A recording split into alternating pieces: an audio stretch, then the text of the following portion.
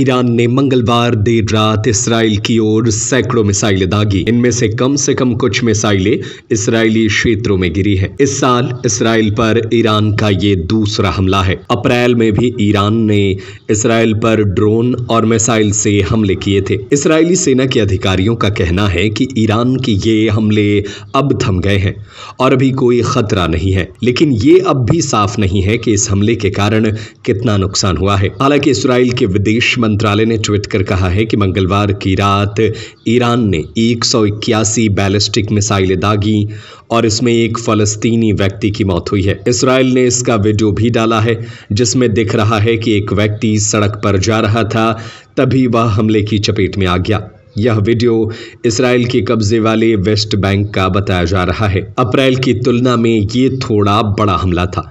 पाँच महीने पहले, यानी अप्रैल में, ईरान ने इसराइल पर करीब 110 बैलिस्टिक मिसाइल और 30 क्रूज मिसाइलों से हमला किया था। इसराइली टीवी पर दिखाए गए फुटेज में स्थानीय समय अनुसार, शाम सात बजकर पैंतालीस मिनट से कुछ देर पहले, तेल अवीव और उसके नजदीकी इलाकों के ऊपर से मिसाइलें उड़ती नज़र आई। सैन्य अधिकारियों ने पुष्टि की कि हमले के दौरान कुछ मिसाइलें तय निशाने पर लगी। सेना के एक प्रवक्ता ने कहा कि ये हमले इसराइल के मध्य और दक्षिणी हिस्सों में हुए थे।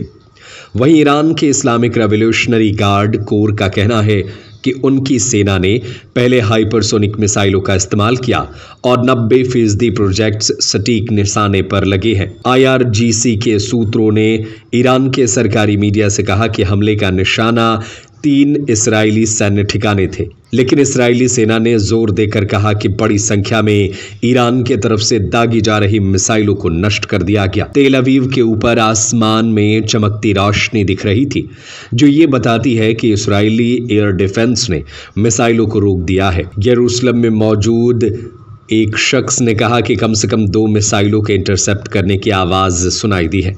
वहीं इसराइल के डॉक्टरों ने कहा कि उन्हें अभी तक किसी के गंभीर रूप से घायल होने की कोई सूचना नहीं मिली है। हालाँकि छर्रे लगने से दो लोग मामूली रूप से घायल हो गए हैं। सेना ने भी ऐसे ही संदेश जारी किए हैं। ईरान के इस्लामिक रेवोल्यूशनरी गार्ड कोर ने एक बयान में कहा, ये हमले आईआरजीसी के एक टॉप कमांडर और ईरानी समर्थित मिलिशिया गुटों के नेताओं की हत्या के जवाब में किए गए। आईआरजीसी के बयान में हिजबुल्लाह के प्रमुख हसन नसरुल्लाह और बीते हफ़्ते बेरूत में आईआरजीसी के कमांडर अब्बास निलफोरोशन की मौत का ज़िक्र किया गया है। वहीं जुलाई महीने में तेहरान में हमास के पॉलिटिकल विंग के प्रमुख इस्माइल हानिये की मौत का भी बयान में ज़िक्र है। हालाँकि इसराइल ने हानिये की मौत की ज़िम्मेदारी नहीं ली है। लेकिन ऐसा माना जा रहा है कि इसके पीछे इसराइल का ही हाथ था। एक वरिष्ठ ईरानी अधिकारी ने समाचार एजेंसी को बताया है कि देश के सर्वोच्च नेता आयातुल्लाह अली खामिनेई ने व्यक्तिगत रूप से इन हमलों का आदेश दिया था। ये हमले उन दो शक्तियों के बीच लंबे समय से चल रहे छद्म युद्ध में बड़ा ताज़ा तनाव है। असल में ईरान इसराइल के अस्तित्व को ही स्वीकार नहीं करता है। ईरान की सैन्य नीति में इसराइल केंद्र में रहता है। वहीं इसराइल ईरान को अस्तित्व के लिए खतरा मानता है और वो सालों से उसके खिलाफ गुप्त अभियान चलाता आ रहा है।